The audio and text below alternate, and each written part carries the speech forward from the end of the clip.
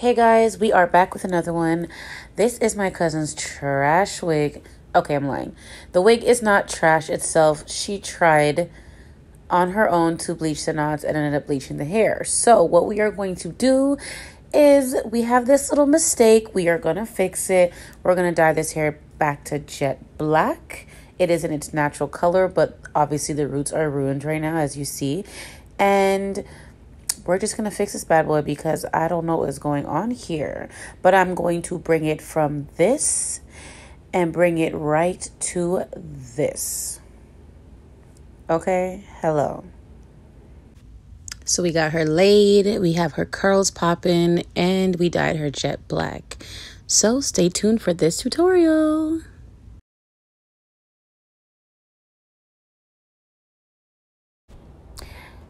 So guys, let's get it started. Excuse the mess, but we are going to dye this hair and it is very, very toxic. So I suggest that you get you a mask.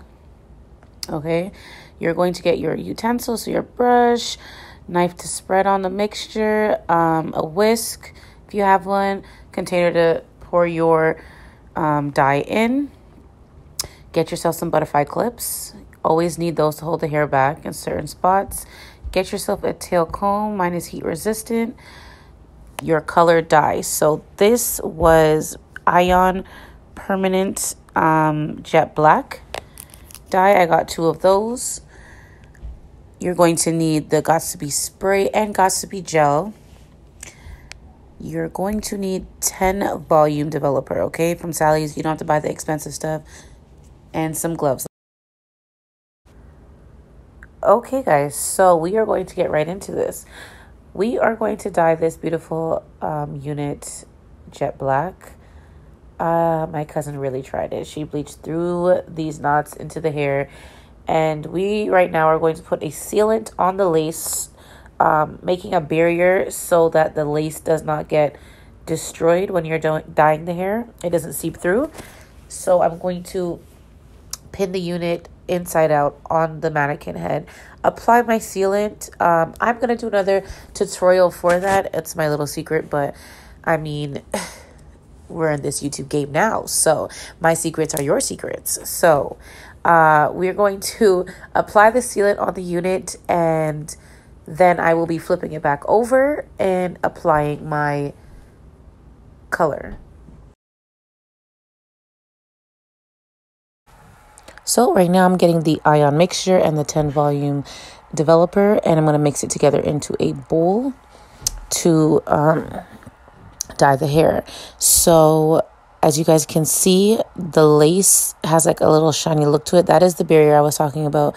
The sealant that is going to prevent the dye from leaking through and dyeing the lace.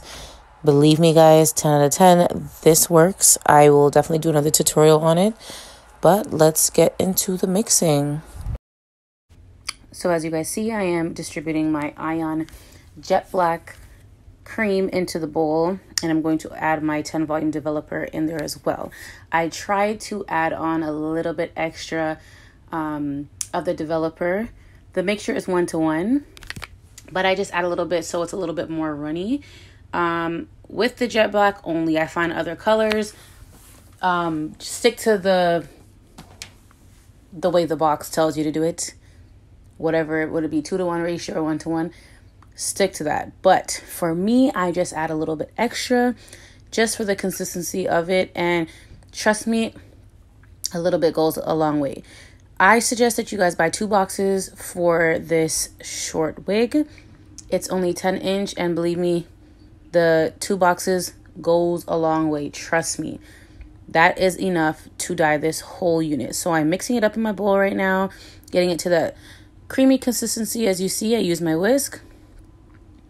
And that is how you want it over time. The color will change. So don't be worried that it looks creamy white and it's supposed to be jet black dye. That is the way it's supposed to look, guys. Um, have it like a pudding consistency. So, of course, like any hair box dye, it gives instructions on the inside, guys. Please look, please read it, and you'll understand. So here I am mixing up the dye, ready to apply it to the hair. So, what I suggest you do before coloring any hair, comb it out, guys. Use a brush and comb it out. Because this is curly hair, it is a lot more hair to work with. It looks like because it's shorter and because it is a bob and because it is a curl pattern, it may seem to you like it's not a lot of hair. Believe me, it is a lot of hair. So comb it out first, then apply your dye. And now for applying the dye to the hair, guys. Section out the hair. This I 100% recommend because you want to make sure that you get this mixture throughout the hair. Now, if you are dyeing a unit and you want the hair to be consistent with the color, you want the color consistently throughout the hair, section your hair. I like to dye it from the roots. As you guys see, I am dyeing the roots first and bringing the color down the shaft of the hair to the ends.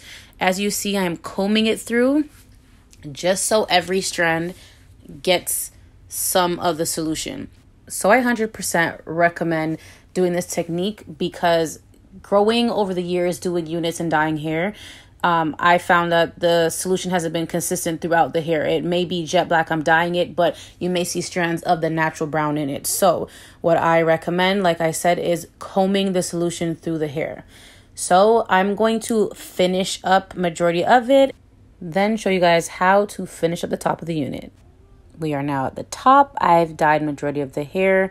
So, what I'm trying to do is go through it again with a bit of the solution just to make sure that it is all around the hair. I obviously distributed it through the root and the shaft of the hair by combing it through. As you can see, um, majority of the bottom of the unit has already turned jet black. But I just finished applying the solution to the top. So what I use is my rat tail comb and I apply some solution to my wrist. That's why I recommend you guys using gloves. And what I'm doing is combing it through the root. Now, when I say comb it through the root, I don't mean just slap it on the lace and start combing it. No.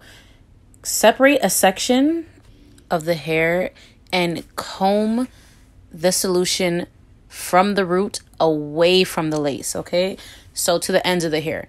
You see I'm lightly brushing it on with the um, tail comb and as well as my Framar brush separate the section, like I said, of hair and comb that solution away from the lace, but from the root, okay, as close as possible. When you're doing this, I can assure you that you will not get this solution on the lace, believe me. Then again, this is why we put our solution underneath, and like I said, I will provide a tutorial for that later. But this is why we have the solution underneath, blocking you from making that disaster or destroying your lace and getting the dye right through. So, and believe me, jet black is a hard color to get off. There are ways to get the color out of the lace, but not all the time does it actually come out fully. So, using this technique, believe me, you will dye the unit properly. So what I'm doing is finishing up the front just a little bit so I can let it sit and process.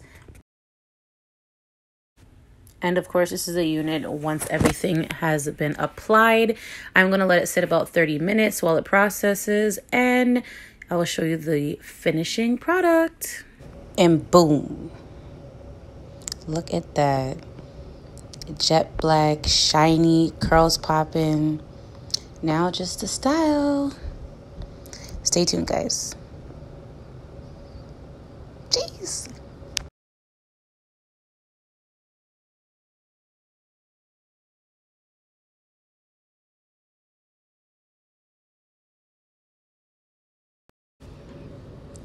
Like, do you guys remember what she looked like? Hey. Stay tuned for more tutorials, guys. Thanks for watching. Thank you.